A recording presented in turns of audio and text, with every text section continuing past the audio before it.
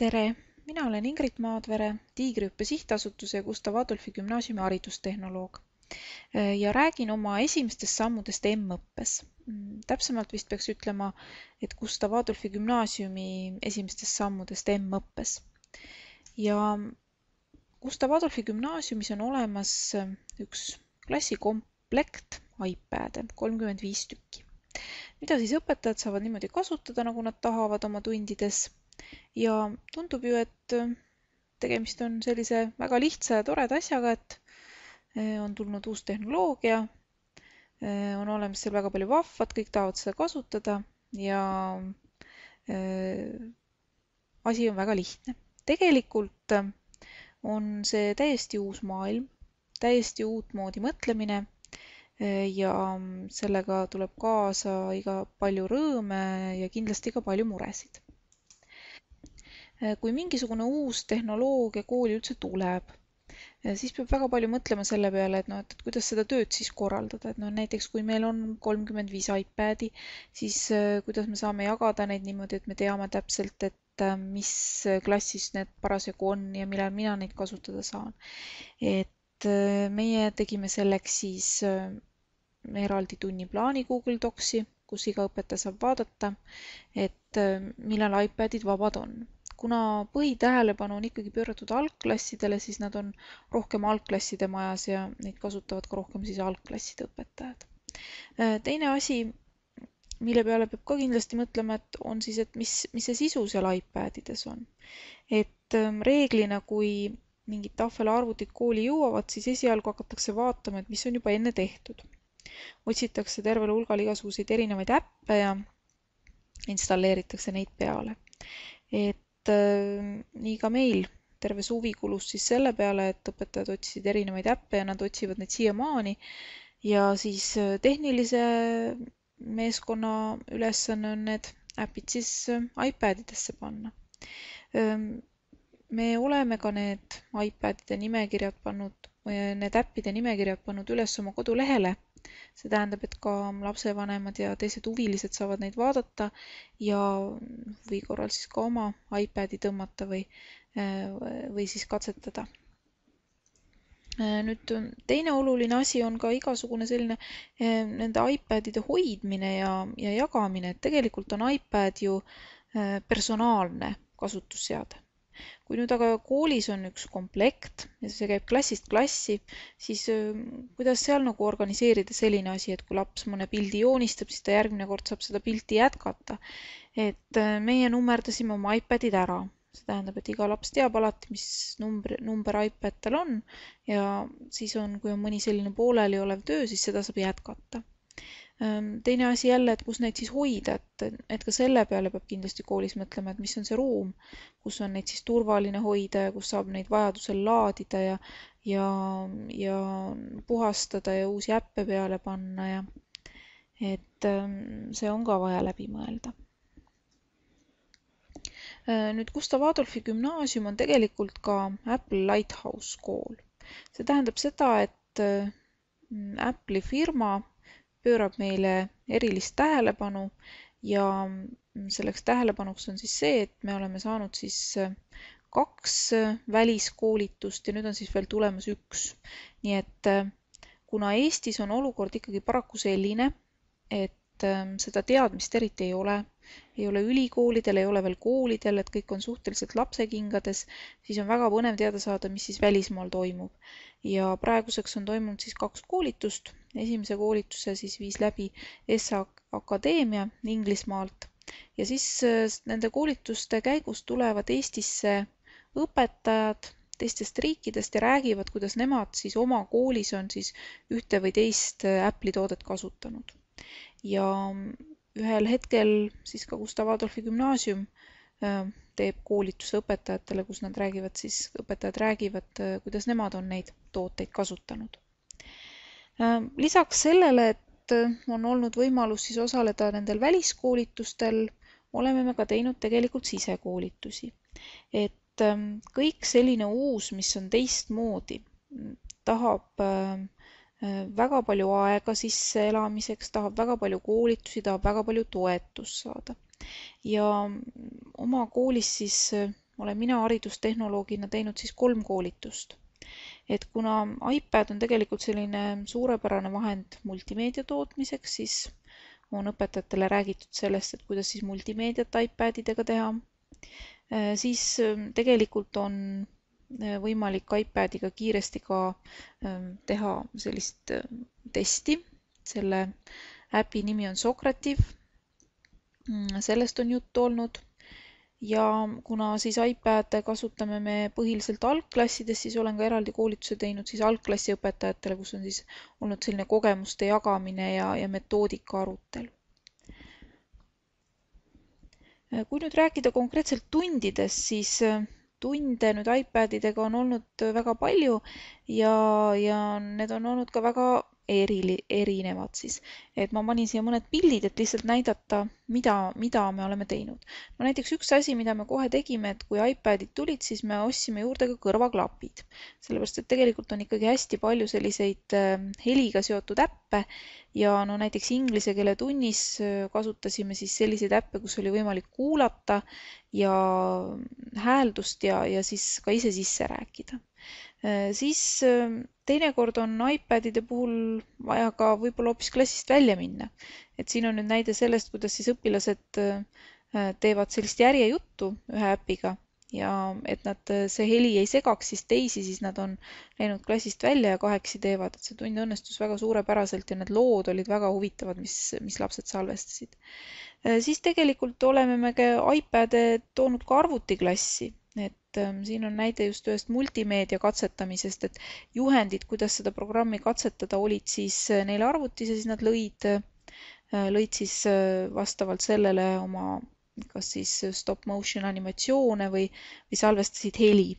et äh, meil on praegu veel lahendamisel wifi probleem, et me ei saa iPadidega alati minna wifi võrku, vaid me praegu alles otsime kõige paremaid lahendusi ja katsetame erinevaid seadmeid, et et selline pool klassi saab ilusti, aga et me saaksime kolmkümmend viis äh, iPadi ilma probleemideta wifi võrku, see on meil veel tuleviku küsimus ja siis eh, siin on näide matemaatikatunnist, et ega tegelikult see, kui ma võtan iPadi tundi, ei tähenda seda, et ma vihiku viskan minema. et see on mingisugune osa lihtsalt tunnist ja, ja matemaatika on selline rahvusvaheline keel, nii et matemaatikat matemaatikasse on iPad'e kõige kergem integreerida, sest seal on tõesti ääretult palju võimalusi, et iga matemaatika teema jaoks on sadu ja sadu äppe Äh, siis ähm, tegelikult ähm, lisaks sellele, et saab kasutada valmis sisu, mis on siis äh, äppide näol olemas, äh, siis mõtlesime me, et tegelikult tahaks ka ise midagi teha. ja mm, suvel proovisin ma siis iBook autori abil teha kaks õppematerjali, üks oli siis äh, raamatukogu ajaloost, mis oli selline suhteliselt tavapärane raamat, lihtsalt pilte sai rohkem juurde panna. aga siis me mõtlesime, et tegelikult peaks ära kasutama ka siis selle äh, multimeedia võimaluse, nii et me tegime sellise videoaabitsalaadse asja, mis on tegelikult ka veel praegu poolik, ta on meil küll iPadides olemas ja lapsed on kasutanud, aga, aga seal on praegu just eriti palju on seda videomaterjali, aga igasuguseid ülesandeid ja tekste on veel esialgu vähe. aga mõte oli siis selles, et tuua just see uus multimeedia siia ja et kuna video on selline selline keel, millest lapsed aru saavad, siis läbi selle näiteks näidata ühistransporti või, või mingisuguseid loodusprobleeme, nii et noh, et lastele see asi väga meeldis ja, ja meie probleemiks, miks me ei ole seda veel valmis jõudnud, on, on see universaalne probleem, et lihtsalt ei ole olnud aega. Äh, siis äh, edasi minnes mm, ma panin siia ka ühe näite. Ühe õpetaja Katri Mirski õppematerjalist M-õppe geograafia tunnis et ähm, tegelikult ähm, ei ole ju mingi probleem otsida mingisuguseid äppe või siis äh, äh, osta kooli, kui on raha, tehnilisi vahendeid, aga minu jaoks on alati olnud kõige suurem probleem see metoodiline probleem, et kuidas seda siis kasutada ja mismoodi siis teistmoodi on. ja vot ähm, selle tarvis ongi sellised õppematerjalid, et kui üks õpetaja võtab kätte ette ja loob ühe õppematerjali, kus ta katsetab mingisuguseid vahendeid ja, ja, ja annab siis tagasisidet ja loob juba valmis lahendusi, siis ähm, sellest on kasu kõigile. et see õppematerjal läks ka saatsime ka konkursile Täna samm, homme teine kooliellu. minu jaoks on olnud väga oluline see, et kõik see, mida me teeme, kõike seda peaks jagama. kui me iPadidele üle läksime, siis ma pöördusin küll ülikoolide poole ja teiste koolide poole, et äh, kuidas, kuidas neil on läinud ja siis ma avastasin, et ega meil sellist ühtset kohta ei olegi, kus ma saaksin teada äh, midagi täpsemalt, et kuidas midagi kasutatakse või kuidas midagi tehakse. et on olemas jah, küll mingisuguseid äppide kogusid ja kõike sellist, aga seda metoodilist poolt, seda väga palju ei olnud ja selle tõttu äh, lõin ma blogi Apple koolis kõik huvilised, kellel vähegi on sellel teemal sõna sekka öelda, olen ma kutsunud siia kirjutama. praegu küll on rohkem kirjutanud siin Gustav Adolfi gümnaasiumi õpetajad, aga vot selle poole pealt ma loodan, et äkki see on selline väike algus selleks, et see mobiilne õpe ja tahvlitega õpe just niimoodi metoodiliselt paika loksuks ja kõik need katsetused, mis ühes koolis te tehakse, et see ei jääks ainult selle kooli piiri, piiridesse, vaid jõuaks ka kaugemale Äh, kui nüüd rääkida koostööst, siis äh, igasuguse uue süsteemi juurutamisel on koostöö väga oluline ja ja meil on ka koostöö toimunud nüüd Tallinna Reaalkooliga, me käisime vaatamas nende tunde, enne kui me oma iPadid saime. Ähm, mina haridustehnoloogina olen väga palju vestelnud teise kooli haridustehnoloogiga. me vaatasime üle äpid, mida nemad kasutasid ja võtsime sealt palju üle Tallinna Lilleküla gümnaasiumi haridustehnoloogiga samuti on päris palju juttu olnud iPadidest ja selle kasutamisest. Äh, kui meil on olnud äh, need Apple Lighthouse koolitused, siis me oleme kutsunud mõlema kooli õpetajaid endale koolitusele, et see info siis jõuaks ka võimalikult paljudeni. ja nüüd juba järgmisel nädalal on mul plaanis kohtuda Tartu erakooliga, kellel on iPadide osas juba selline pikem kasutamise kogemus ja, ja ma kujutan ette, et sealt ähm, saame jälle väga palju informatsiooni ja vajalikku enda jaoks.